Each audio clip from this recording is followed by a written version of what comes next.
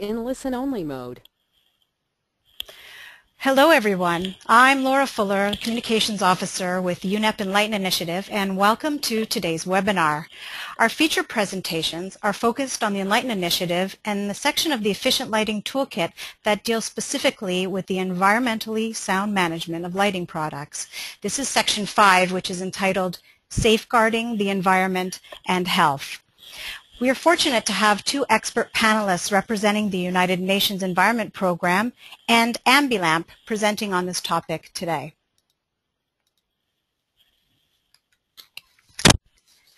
Before we begin, I'd like to quickly go over some of the webinar features. For audio, you have two options. You may either listen through your computer or over your telephone.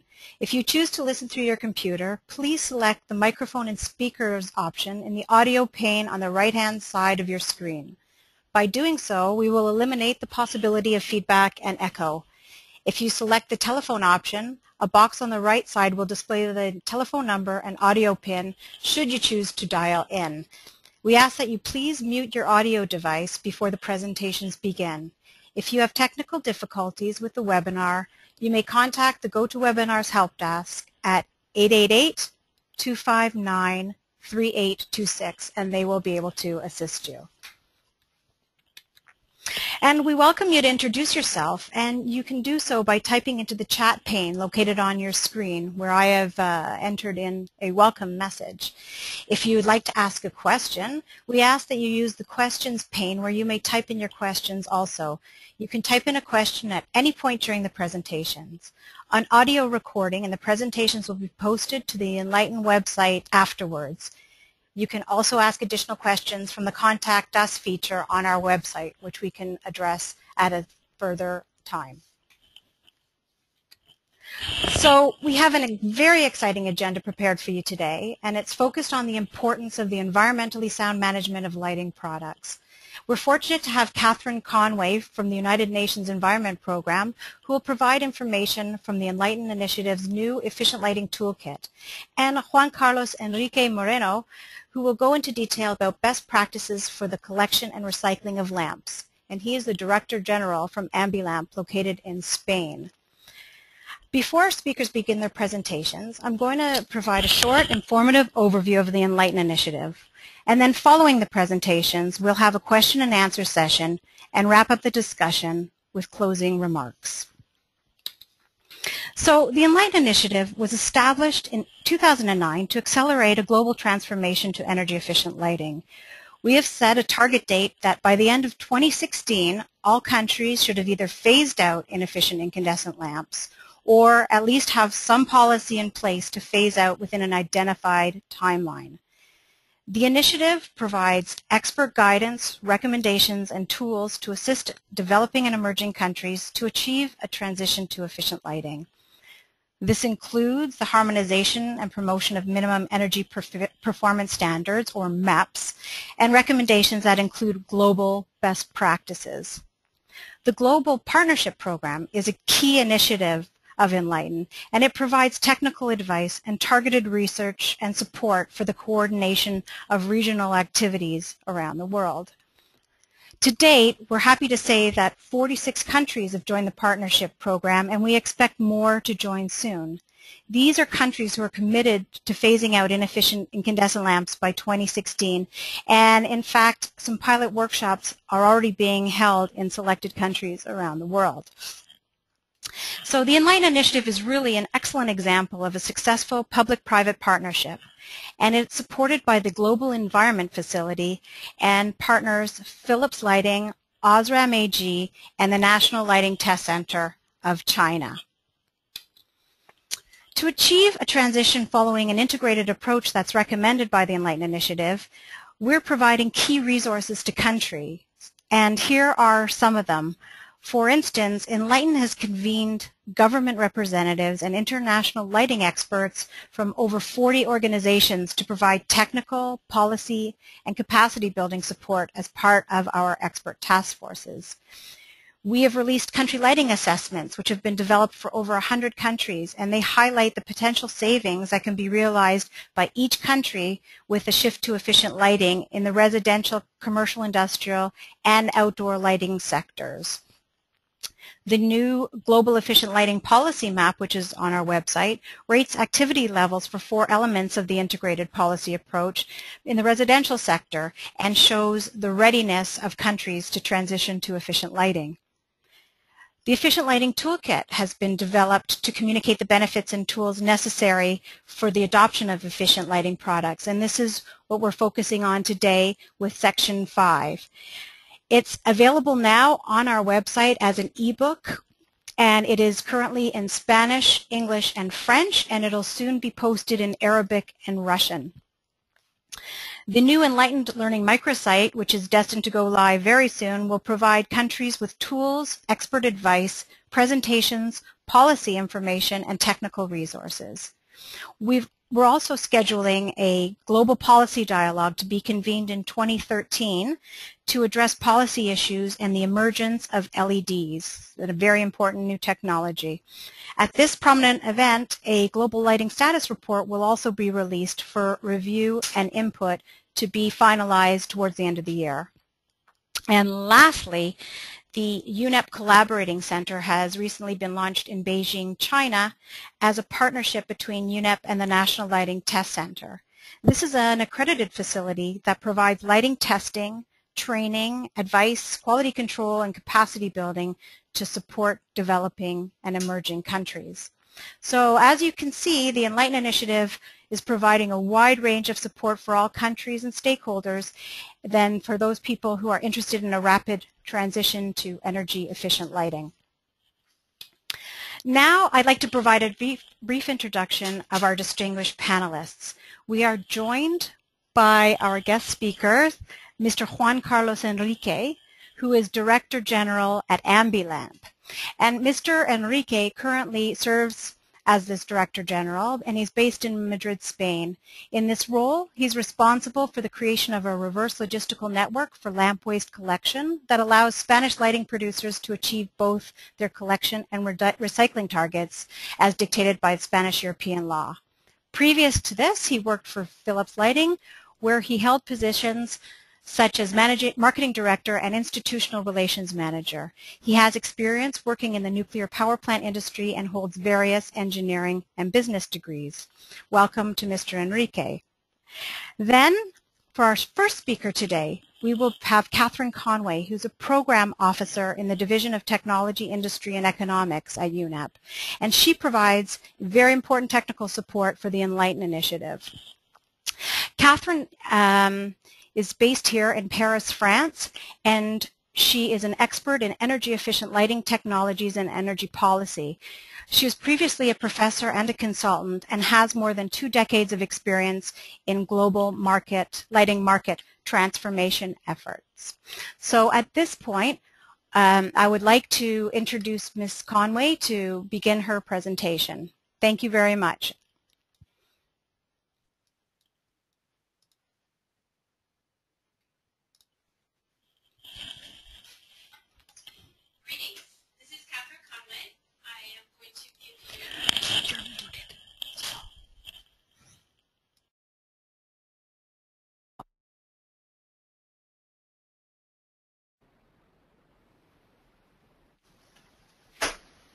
Greetings, this is Kathryn Conway. I'm going to be giving you a quick look at one of the sections of the Efficient Lighting Toolkit that we recently published. Uh, as Laura mentioned, it's Section 5, Safeguarding the Environment and Health. Then we'll take a look at the conclusions from Section 5 of the toolkit and finally have some questions and answers at the end of the webinar session.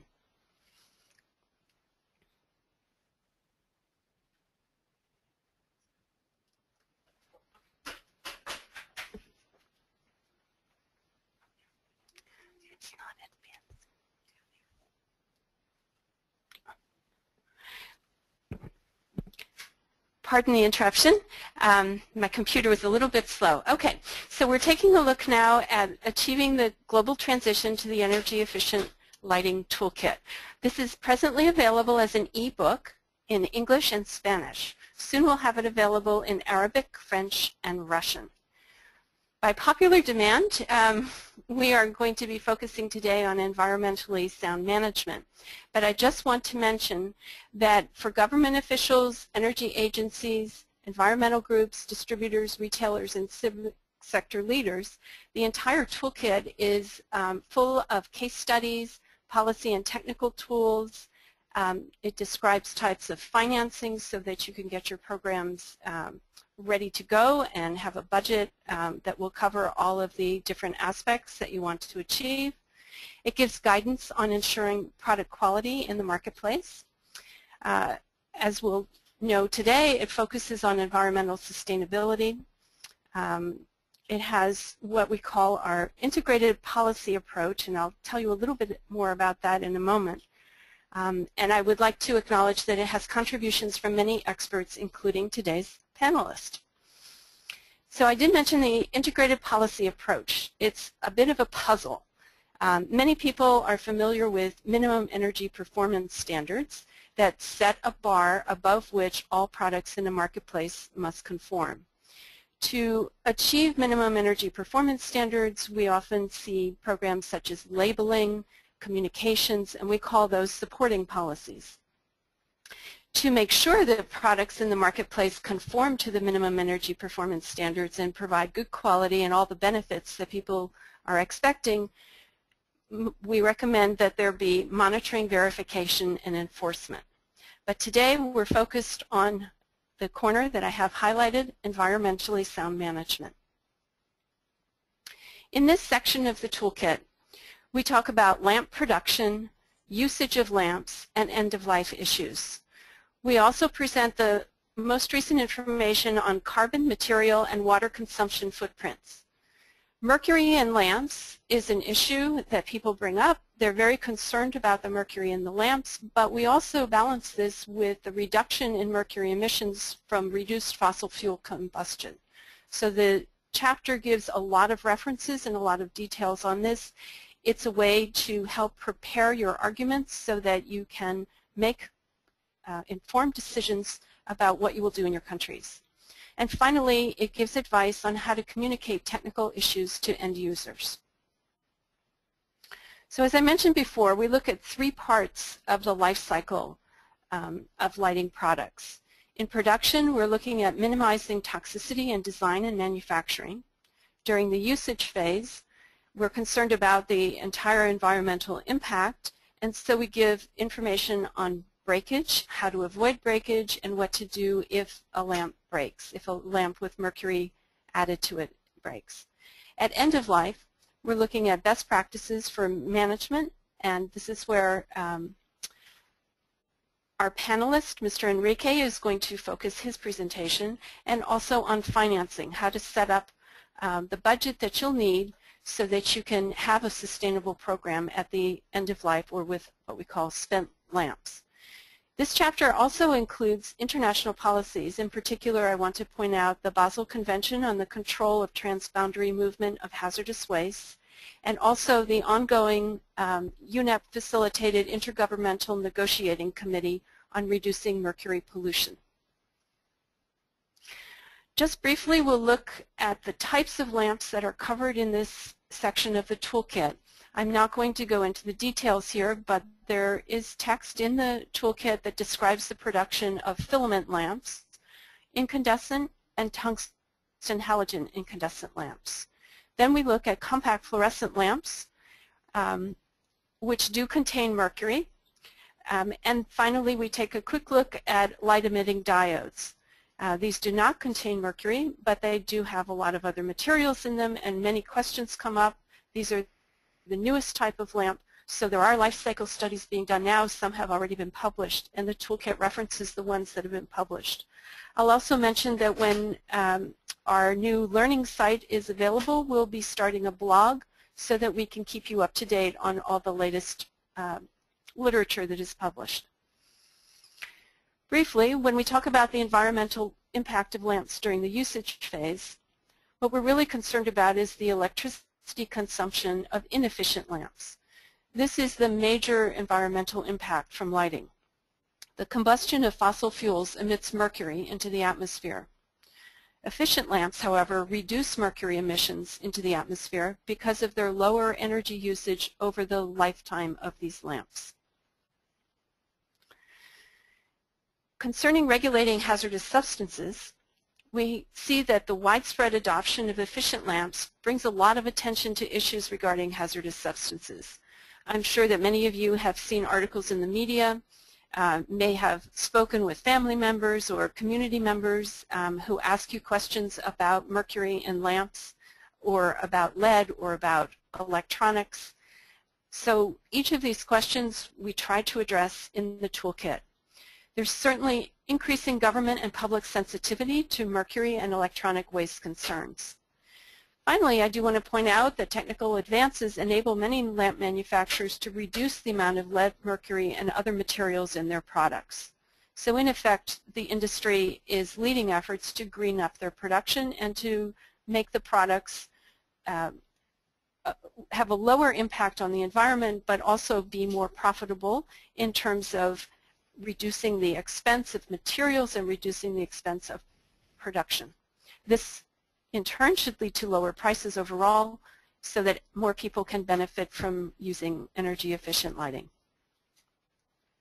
I'll give a few examples. This is not a comprehensive list, but a few examples of regulation and voluntary initiatives that are helping to reduce the amount of mercury in energy efficient lamps, particularly in compact fluorescent lamps.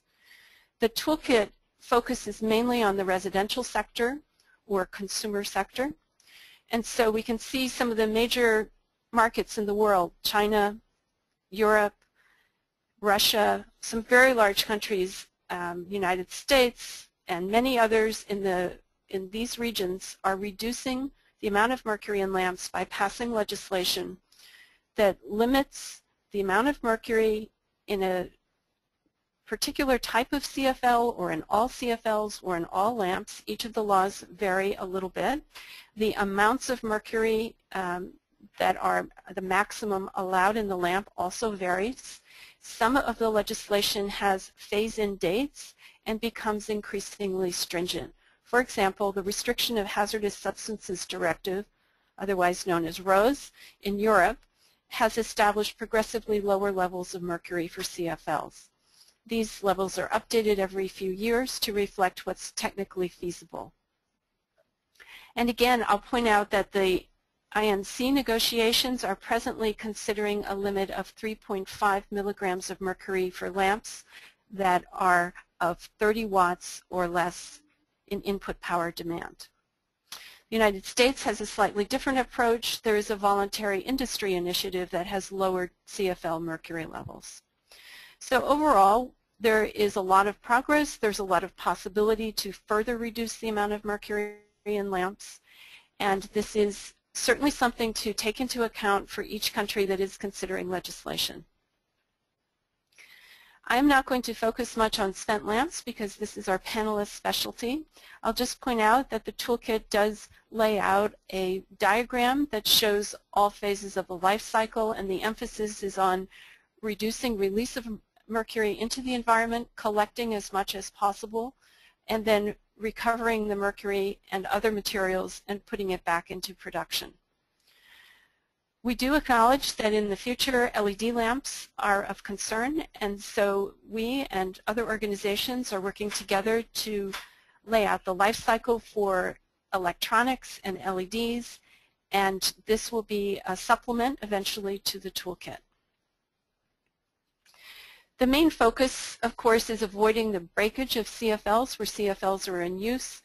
In the toolkit, you'll find guidelines that are best practices um, taken from around the world and uh, put in a form that you can use directly. You can actually excerpt it and uh, use these guidelines for your own programs. In the toolkit, we outline a number of ways that programs can be financed. I will not go through these in, in great detail, but basically the full costs of recycling collection and recycling can be internalized, but those costs are then passed on to end users. Another option is an advanced disposal fee, or you could have a deposit that is later refunded. A few other methods are uh, the last owner would pay, so the last uh, user, in effect, would make a fee, pay a fee for disposal, or you can have regional collection and recycling programs. And we'll see some really good examples of how this works out in, in reality um, when we go to the next speaker. So here are some conclusions from the end of the chapter, uh, section 5. Efficient lamps are responsible for lower global mercury and greenhouse gas emissions than are the conventional incandescent lamps. The widespread adoption of efficient lamps requires sound management at all life cycle stages. And it's very important that compliant, high-quality lamps are used to minimize the life cycle impacts, but also to deliver the expected benefits of efficient lighting. Policymakers can use the toolkit to consider international best practices as they determine what is best for their countries. But we do want to say that recycling is manageable, affordable, and can even create some new jobs. Extended producer responsibility is an effective approach. We hope you'll look at the Basel guidelines. They, they have to be complied with, and hazardous waste management is um, a complicated issue, but with the guidelines, uh, complying with them, you can eliminate the release of hazardous materials into the environment. And finally, we point out that success requires legislative frameworks, this integrated policy approach that we recommend, sustainable funding, clear communication, and the participation of all parties. So thank you for your time, and I'm going to turn things back over to Laura Fuller.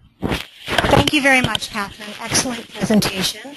And now we're going to hear from Mr. Juan Carlos Enrique from Ambilamp, who will, um, give his presentation.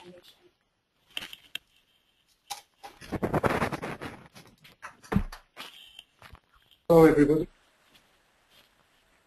Hello, everybody. My name is Juan Carlos Enrique, as mentioned, and I am managing Ambilamp, which is an association of producers in Spain uh, that started a, a collection system uh, for lamps years ago and I will try to explain, it will be a pleasure for me to explain our experience of these seven years, especially with the purpose to see if you can take some idea or some experience of these seven years that can be applicable in your country for the collection and recycling after the uh, elimination of incandescent lamps.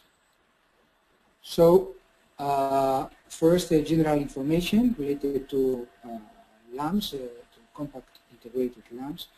Uh, uh, you know uh, that compact integrated lamps represent a very, very low weight of the electronical and electrical waste.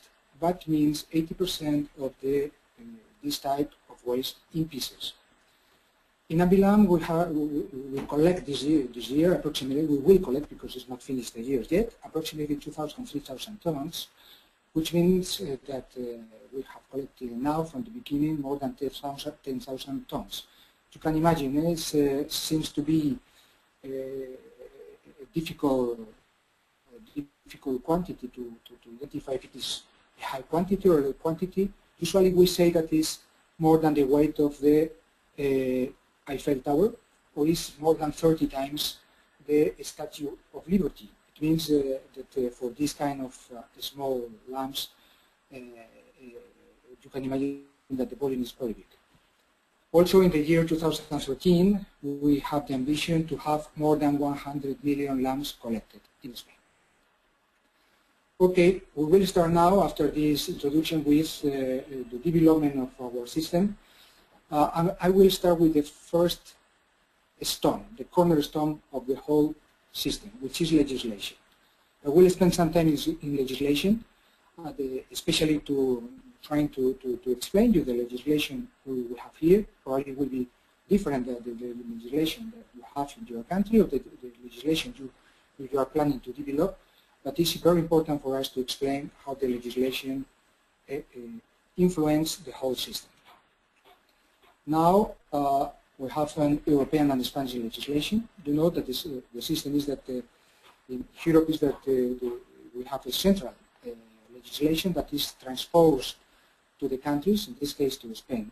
We have a directive on waste, the general law for, for waste, that uh, has been transposed in the general law the year 2011 in Spain. We have also a directive for uh, waste of electrical and electronic equipment that was transposed also in a royal decree in the year 2005, which is when we started the, the, the, development of Ambilamp. But now we have also recast of this directive. Uh, just developed uh, recently, some months ago, and now this is ongoing in a transposition, in a future transposition for a new royal decree that currently is undergoing Okay, but all the legislation is based on a, a, a one principle. It was mentioned by Kathleen, and the, this uh, principle is the extended producer responsibility. Of course, you can decide if this is the principle in your country that must be used. You have different, but uh, we can say that it's working well in all the countries. And uh, as far as I understood, most of other countries out of the European Union are considering this as a, a, key, a key element for the development of the recycling system. What is, uh, what is the producer responsibility, extended, extended producer responsibility is a definition of the, uh, uh, that was in principle uh, guideline given by the OECD and now is taken by the European Union as base of the whole legislation and uh, make responsible the producers for the total life cycle. It means that they are also responsible for financing and develop the recovery and recycling and disposal of their products when they, they, are, they, they generate this product generate, generates waste. Uh, we have some governing principles. The first one is prevention of contamination, product life cycle, as mentioned before, and one important, very important one, the polluter pays. Hmm, the guy or girl that is buying something that's polluting have some responsibility in the total circle, like a producer, for instance. And the ways of development of these, systems are two. One is a collection and recycling system organization, which is Ambilamp. Ambilamp is what we name CRSO, Collection and Recycling System Organization, or an individual collection system, eh, which is uh, a system developed by only one producer. What we can say is that uh, more than 99% of the producers in Spain and Europe selected the first option, so they create collection and recycling systems organizations. What is a collection and recycling system organization. It's a non-profit organization formed by producers with the objective of creating a structure that fulfills all the financial, operational, legal and informative requirements established in the regulations. So now explaining the whole uh, structure of regulation in Spain related to waste and uh, also in Europe, we can say that we have an European Waste Framework Directive. This uh, directive create two directions. In one direction, the European sectorial uh, directives and the Spanish General Law, the General Waste Act that was created, as mentioned, in the year 2011. And taking both into consideration, the countries like uh, Spain create a sectorial, subsectorial uh, royal decrees in this case, or regulations. One is for used oils, another for used tires, batteries, WEEE, so electronic equipment, used packaging, etc. And now we are here. We are part of the WEEE. It means that lamps is part of the of this waste and is regulated by this royal decree like uh, refrigerators, TVs, or some other electronic devices. The most important contents of the, the royal decree and the new directive that is coming is that uh, we start with the, the, the present uh, royal decree. Uh, there's a collection target of 4 kilos per inhabitant, taking into consideration the collection and recycling of all electrical and electronic waste. Uh, the second one is that there are financial guarantees with respect to future waste. It means that the, uh, the finance system of, of the CRSOs must take care not only of the waste generated in the present year, but also must create guarantees for the future waste. It means that, for instance, if a producer that is selling now a product uh, is going to bankrupt uh, next year, but uh, their products will produce waste in seven, eight years, somebody must take the money for the guarantee, the economical guarantee to uh, recycle and collect this, this, this waste. And the third one is the obligation of the distribution to accept the waste one by one. What means one by one? Uh, the, the, the, the mm, distribution has the obligation to collect in their shop the waste of this product when some buyer is buying a similar product. So they are in the obligation to take one by one. If we see now the new European directive, we can see that it is more strict. It's going to, to have uh, different targets. When I say 45 POM means put on the market, so sales of uh, product. So for the year 2016 to 2019, there will be an increased quantity starting with 45% of put on the market to be collected. And in the year 2019 must be 65% of the sales or a calculation of 85% of the waste, the real waste generated. Also, this European directive uh, reinforced the financial guarantees and also create again the obligation of one by one in the distribution, but also creating a new obligation to shops that are uh, uh, also selling this kind of products with more than 400 square meters. In this, in this case, uh, they must have free of charge, uh, uh, uh, must, must, provide the possibility to give this waste in a free way without the obligation to buy any product for give this, this waste. Okay, as mentioned, uh, you know, because the Eco-Design Directive, uh, it is uh, forbidden in Spain and in the rest of Europe from 1st of, of September 2012, the sale, production and sales of incandescent lamps. And we're going, of course, in the direction of uh, compact fluorescent lamps, mainly, may I say that 95, 90% is going in that direction, but also there are some sales of LED lamps. Uh, but in the coming years, we expect uh, the transformation of incandescent lamps that are now in the houses to compact fluorescent lamps, especially because the LED lamps are very expensive now, and probably it will take some years, maybe five, six, seven, maybe 10 years, to have a logical price to replace massively the, these lamps. Uh, also taking this into consideration, it's very important to consider the uh, uh, another uh, legal uh, obligation, which is the ROHS, restriction of hazardous substances. That uh, one of the, the, most important things related to this obligation is the reduction of mercury, as mentioned also by Kathryn. And we can see that in the last years, there were a, a strong reduction the content of mercury in the lamps that we are both fluorescent lamps and compact integrated lamps, so saving lamps. Uh, these were reduced uh, more than 90% and now uh, the, the, lamps that are sold in the market uh, can, uh, can have approximately 5 milligrams or less of mercury. But you must think that the lamps that now are producing waste are not the lamps, the new lamps that we are having now. The lamps that are producing waste are lamps that were installed 5 to 10 years ago. It means that we are collecting lamps with a big quantity of mercury still.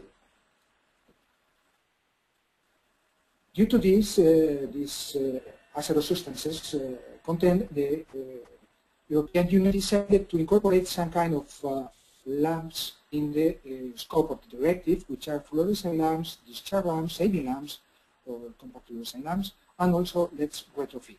But they decided because this uh, uh, no content hazardous substances uh, out of the way of incandescent and halogen lamps. Okay, after the legislation, we will start to institution. Eh? What is Ambilamp? How is organized Ambilamp? Okay, Ambilamp is a non-profit organization because it's a CRSO, and importers of lamps with more than 90% of market share in Spain. It was created by Philips, Osram, General Electric, and Sylvania, like other CRSOs in Europe. Uh, as you can see in the graphic, we started with four producers in, uh, in, Ambilamp in the year 2005, and now, uh, in November this year, we are uh, 180 producers and importers. Uh, the first question is when we decide uh, to launch uh, a specific, a specialized CRSO for lamps, was why a specific CRSO for lamps? Why not to mix the lamps with TVs or refrigerators? This is the, the answer. The first thing is that the negative value of the waste is very important. Sometimes it's more costly uh, to, uh, uh, to collect and recycle lamps. So it's very important to make a very efficient collection and recycling system as an hazardous waste, uh, as mentioned, uh, product or waste, is the fra fragility of this product is very important and it's very difficult to handle. They have a specific and complicated shape. They have also a specific treatment plans and we need to develop a specific collection system because sometimes we need to collect the lamps where the lamps are sold and they have specific uh, channels for this. And also uh, the new technology that is mixed the, the shape of the lamps with uh, LEDs now are very similar to the uh, non-LEDs one and are mixed and we need to provide also solutions for this. Okay, let's go now to the operations. So the first part is the structure of the collection process. In principle, you need to have some principles for the collection system. Uh, the principles that we decided to have here in Ambilamp was the implementation of multi-channel collection process, especially to ensure the proximity to the waste generation point, which is more efficient economically and ecologically. Also, we decided to have uh, two types of containers. Large one for cost efficiency, uh, wherever installation is possible and they have space enough to have it, and small that uh, brings the container closer to the citizen. Uh, we can have in a, one of them close to our houses, in a, in a shop close to our houses development of special containers for the specific type of lamps. We have very different lamps. Maximum reduction of lamps breakages. This is very important. We must collect, we must take care that the lamps are not broken. Also an important issue is to give service to the maximum possible uh, number of citizens. 99% service coverage uh, throughout the country. Also a high degree of satisfaction among the collection points if you have a collection point and you are not supplying a good service, probably this collection point will not be a collection point forever. They will decide not to be a collection point because you are not supplying a good service to him. And containers designed for logistical efficiency. If we see now the first one, I mean the large container, you can see in the photo that uh, it's very easy to assemble. It's important because, as mentioned before, these waste have a very high volume. So we need to save volume transport. How to save volume transport when the uh, containers are empty? We have the possibility to uh, foldable, to fold the, the, the, the, container, and in this case you are not uh, spending uh, money, neither spending uh, uh, petrol or whatever, because you can collect a lot of them in, in, in a truck, for instance. It's light, they have long-lasting materials. It's very important to invest once and not to have to change these uh, containers many times. Traceability of the container is very important because we have hazardous uh, uh, waste. It means that we must know exactly where are all the containers and adapt it to all different type of lamps. You can see in the overhead that we have uh, some chips in the containers, we have two in each container, then is uh, automatically uh, sending a signal uh, by satellite, also telephone, a telephone signal, and we immediately know just in time the control of the place, the placing of all our containers. Related to the small containers must be cheap, you have there. I can explain for a lot of things on that, but I will try to to concentrate on the most important things. Must be cheap. Also is a communication element, especially at the beginning, the first years, when people don't know uh, that the lamps must be collected. Uh, they are everywhere, so they must be a communication element. And there must be a separation of fluorescent and saving lamps because don't mix very well and there could be breakages. And in the, as you can see in the image, it's very important to provide an anti-breakage ramp system because you know if you, whatever kind of container you, you, you place in the shops, the lamps are broken, at least you, you have this system. And must be also foldable and easy to assemble. You see here different type of different containers for a, for a specific type of lamps, the container for long, long uh, fluorescent tubes, longer than normal fluorescent tubes, discharge lamps for street lighting, for instance, or installer storage containers that are bigger than smaller storage Also, you have here a multi-product container where we collect in the big retails I mean Carrefour, Le Leroy Merlin, whatever, uh, a mix of different type of uh, uh, small waste. For instance, we have here a container with batteries, small appliances, and lighting, including fluorescent tubes and compact fluorescent lamps. Due to this multi-channel approach, we have uh, installed in, in, different channels the large container in a whole, wholesalers electrical distribution large installers in occasional relamping. It means when you need a, a big replacement of uh, lamps, for instance, in a big building, and we send occasional uh, containers just in time to take uh, once all these lamps uh, when they when they need uh, the containers in time. Sorry. In large users, for instance, in big industries or big uh, buildings. Also, we have uh, the, the big container in large retailer outlets, I mean for their own installations, not for their clients, but for, for their own installations. And also we have recycling in recycling centers, municipal recycling centers. And the small container is installed especially in all these uh, shops where the lamps are sold. We think that the best moment to, to throw it away, to throw away the, the, the, waste of a lamp is when you say, hey, I want to buy these lamps a similar to this one. Please, give me a lamp similar to this one. So at this very moment, you buy the lamp and you have to your disposal a container for lamps in the shop. And also we have uh, in the small and medium-sized electrical installers. When we started with the development of this network, we prepared an analysis of the necessities in the uh, Spanish uh, territory for the coverage of the 90% of the national territory with these small containers. And we, the, the study, the analysis, told us that uh, we needed close to 9,000 collection points to cover 90% of the territory. Finally, we decided to go further, and we are now, as mentioned, uh, giving service to 99%. And as you see, this is the development of big containers and small containers uh, till now in Milan. Uh, for the year 2012, we have 8,400 big containers and big collection points because we have some more containers than this one, and uh, 1,700, uh, sorry, 17,000, more than 17,000 collection points for small containers, which means that we are giving uh, a collection point per 4,000 inhabitants, approximately something less in Spain. Also is the collection tonnage the development. Uh, you remember that we have the target of 4 kilos per inhabitant.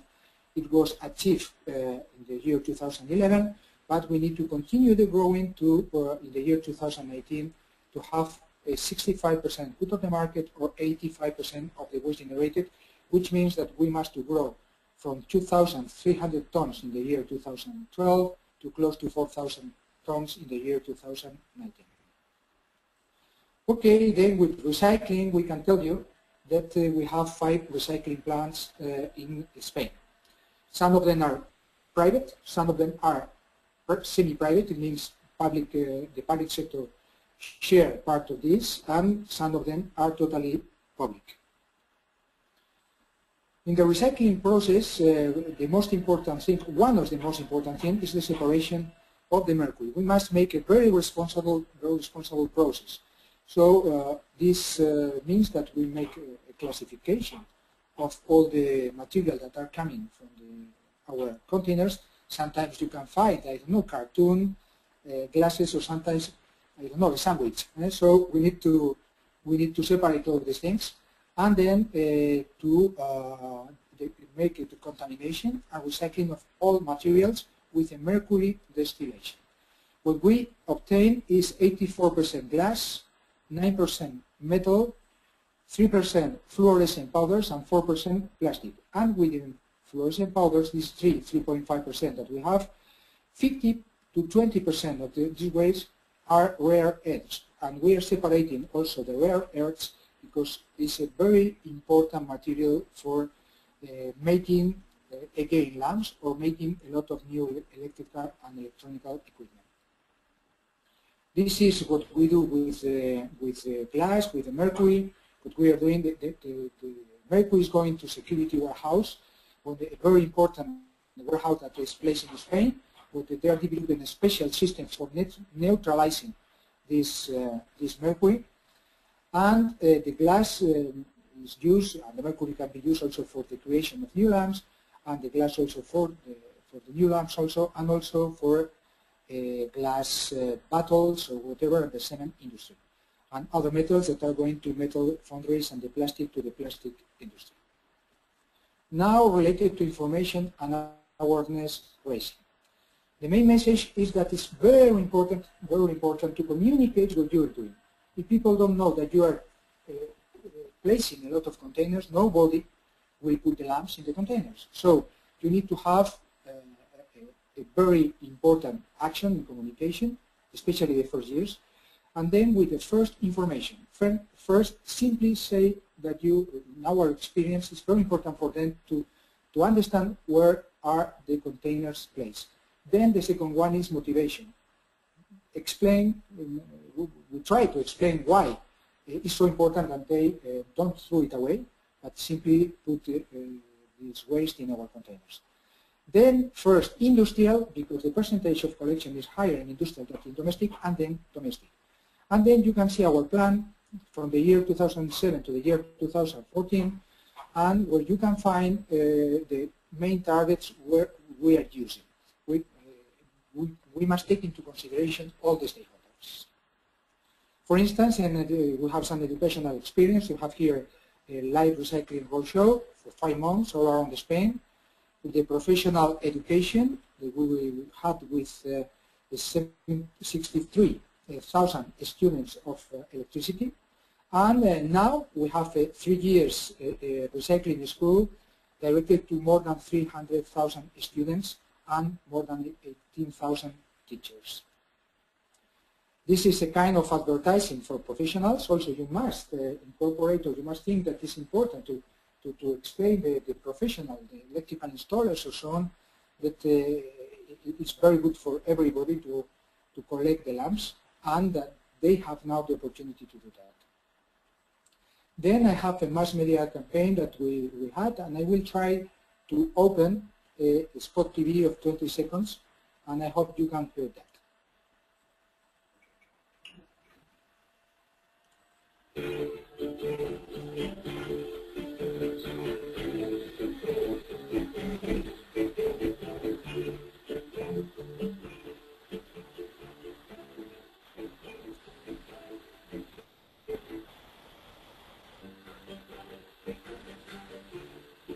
ya sabéis que a se consecuciona la bombilla de bajo consumo fluorescente. Deposita la tubien habitual o en el otro del reflectador que más feo. Cambiar. Okay, and we have uh, also another one very similar for the saving lamp.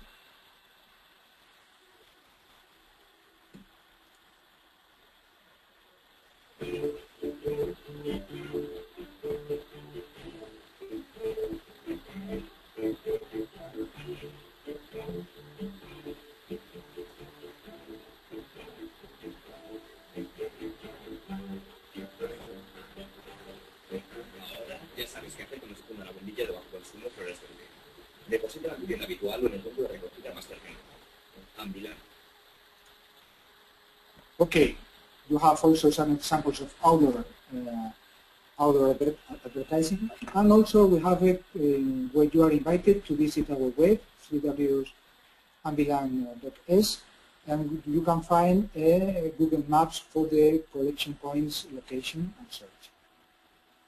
Financing. Financing is a very important thing. You must find in the your legislation a way via taxes, via responsibility, extended responsibility to producers, but you need to have a very strong and clear uh, financing system. The situation we have in Ambilamp is that the consumer is paying to the distribution because the law, extended responsibility, the distribution paid to the producer and the provision is paid to Ambilamp every three months.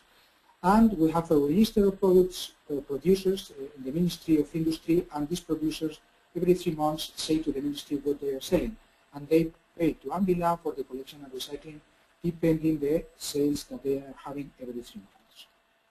Also, when we have this fee, the, the amount of money that Ambilamp has the per lamp to the, to the producers, and as mentioned before, we use this money for two things. To pay the cost of the historical old waste, the, the, what we have this year, and also to have a provision for the cost of the future waste in the coming years. And then, last but not least, also to give you a vision, it can be useful for you, of what we think that are the key success factors for having the development of this system. The first one is the vision. Is efficiency the most important thing, or is a social service the most important thing to provide the citizens the, this service? In our opinion, both things are important, and you need to balance both. Efficiency only don't work, social service paying whatever don't work. The second one is how the stakeholders perceive the service. You can see that it's very important to measure every, every year how the opinion of the stakeholders is related to your service, trying to improve every year because it's, it's very necessary the collaboration of all the, the stakeholders. You can see here some punctuations from Ambilamp.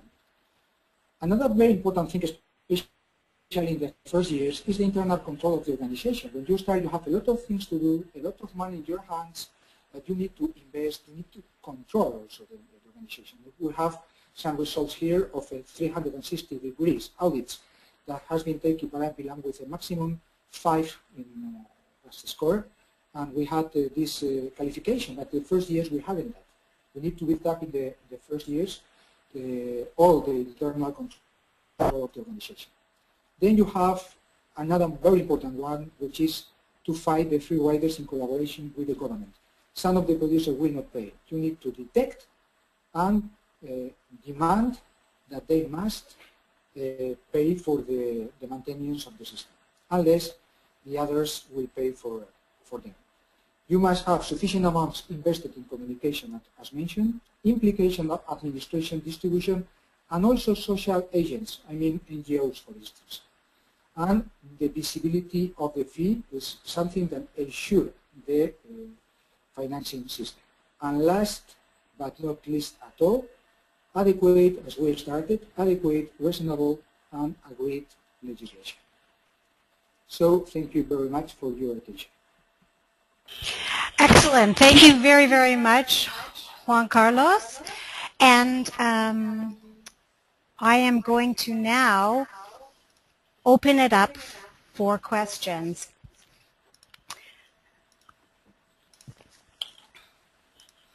So um, we've got, we did receive some excellent questions, and we're going to use the remaining time to um, to ask these questions. We don't have very much time, but uh, the first question then uh, I'm going to direct to you, Juan Carlos, which is how do we start a CRSO in our country?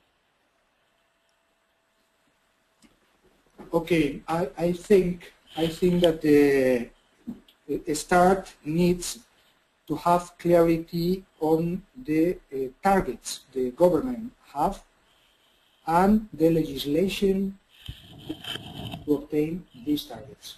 I had the opportunity to discuss with the Chile government some uh, months ago, and they hadn't a general, uh, a general law for waste.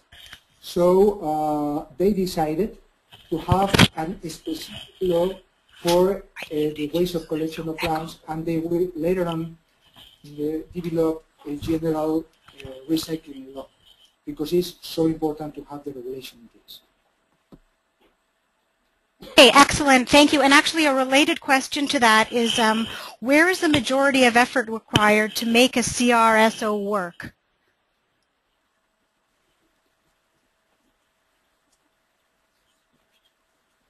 Okay.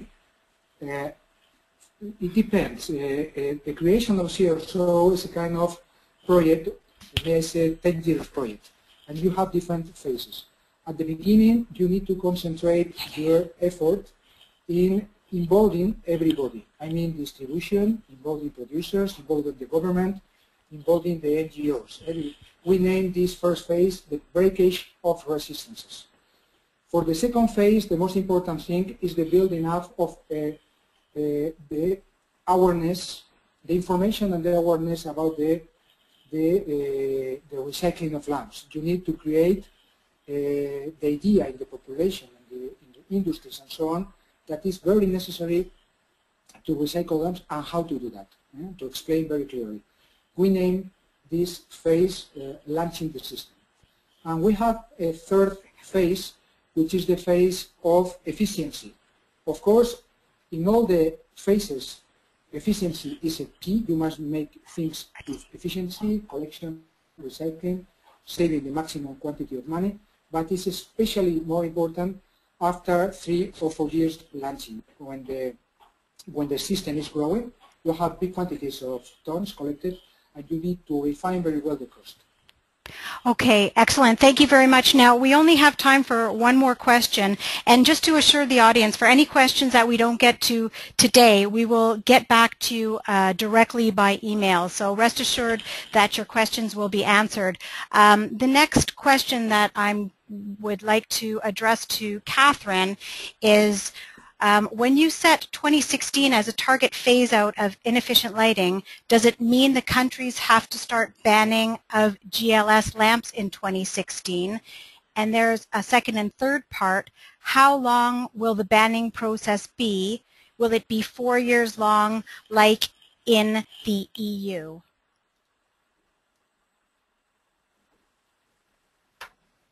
Thank you for this uh, somewhat complex question. I'll try to answer briefly. Um, countries are at different places in their phase-out plans. Um, we have a policy map that shows on our website um, what the different laws are and what the different progress is in each country. I want to point out that um, we really advocate an integrated policy approach, and so when a phase-out is scheduled, you also need to take into account um, the environmentally sound management of products, which is what we focused on today, but also monitoring, verification, and enforcement. Um, Enrique, Mr. Enrique focused a little bit on that, and the supporting policies, which he, he showed some wonderful examples of. So the phase out can be very rapid, as it was, uh, for example, in Cuba. It was sort of a change out there, or it can be scheduled over a period of years. Many countries are uh, developing countries are debating whether or not to do a rapid transition to efficient lighting or to take things more slowly. Budget constraints are certainly um, something that will be a concern, but there are also great opportunities with new efficient lamps. So leapfrogging is a possibility. Thank you for the question, and thank you very much for all of you who've listened. Thank you, Kathryn. Um, I just wanted to thank everyone very much on behalf of the Enlighten Initiative. I'd like to thank our speakers and our attendees for participating in today's webinar. We've had a terrific audience and we really appreciate your time. I invite all attendees to check out the Enlighten website over the next few weeks if you would like to view the slides and listen to a recording of today's presentations. Um, if your country is not already a member of the Global Efficient Lighting Partnership, we encourage you to join. We also offer expert policy assistance and the ability for you to subscribe to our newsletter and participate in webinars. So please have a wonderful day, and we hope to see you again at future Enlighten events. This concludes our webinar.